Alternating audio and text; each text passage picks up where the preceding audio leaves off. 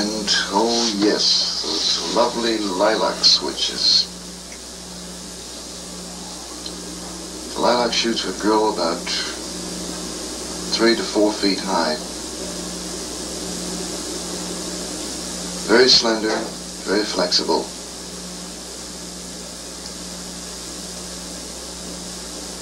And I was told whenever punishment time arose to go out into our backyard, which was surrounded by these lilac bushes, and cut my own weapon. The weapon for her to use. It would have been a sheer joy to me at the time if I could have shared another weapon with her and we could have fenced.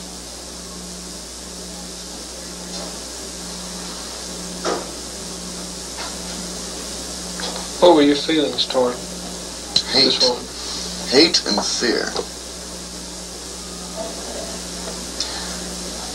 This fear extended beyond her. It extended to her, her own son, the oldest boy. During the first years of my life, we were all living in the same house. But I considered him at the time a, s- what's the word, a sadist or a masochist for a person who seems to enjoy inflicting punishment on someone else. What's the word? I Anyway, believe the sadist is a person who enjoys inflicting uh, punishment on someone else. the masochist is one who enjoys inflicting punishment on himself. I think so. Yes. Well, that was the impression I'd had of the older boy because invariably when the mother got through, the older boy would take over. And he didn't have to use any kind of an instrument, he just used the flat of his hand. He was a large person, I imagine taking after her side of the family. He was about six feet tall,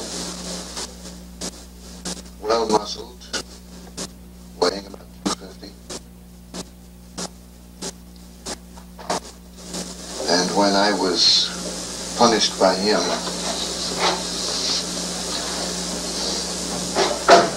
I don't know, it was much more than a punishment. It was a torture.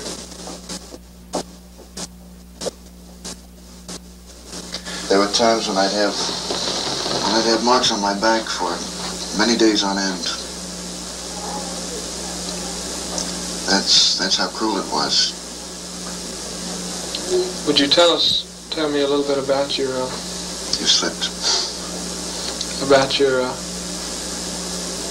high school and uh, experiences after high school, uh, what you did? I believe you relayed these briefly around the emergency room. Would you sort of give us a little brief history of your life and what you've done?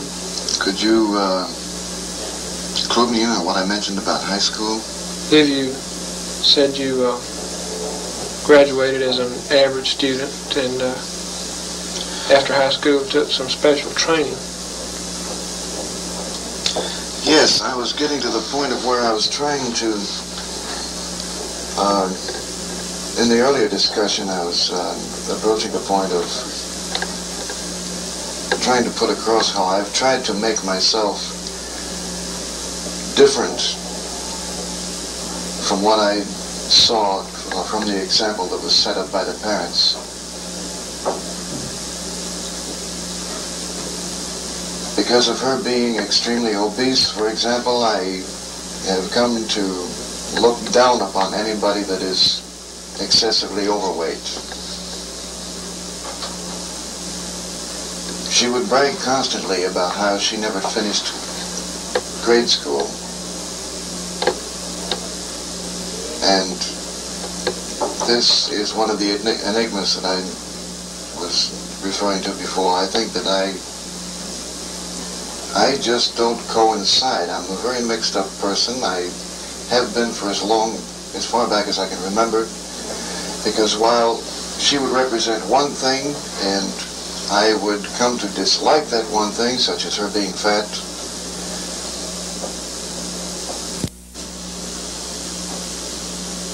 now very possibly, being a little bit introspective, very possibly I'm looking for something that I didn't get, that I wanted very much when I was a youngster. I didn't get sympathy. I got a brick over the head.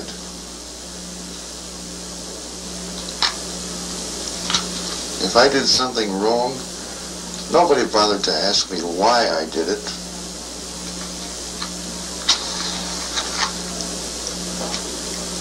Oh, there's another point I'd like to bring up too.